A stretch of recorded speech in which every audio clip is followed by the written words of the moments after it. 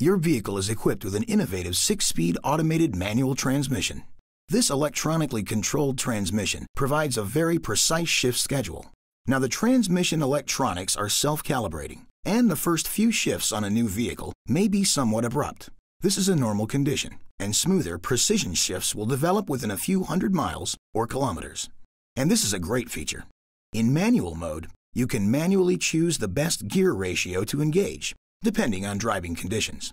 Simply put the transmission in the M or manual mode and tap the shift lever towards the plus to engage a higher gear.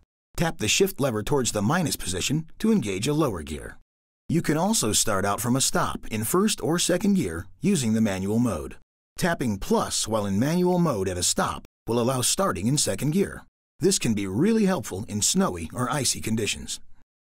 Please refer to the Owner's Information Diesel Supplement on the Owner's Information DVD or ramtrucks.com slash en slash owners slash manuals for complete details and other important safety information.